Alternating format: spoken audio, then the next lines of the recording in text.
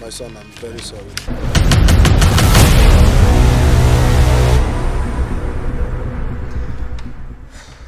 Nathan, how did you get yourself involved in this? Cyber crime. I don't trust your face, ah. I have no money, please. Please, sir. followed by heavy weightlifting. In turn, I would sponsor your education.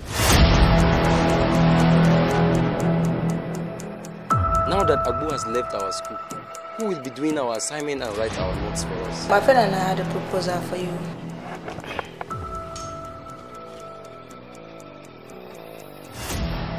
Um, I believe Tim here has already told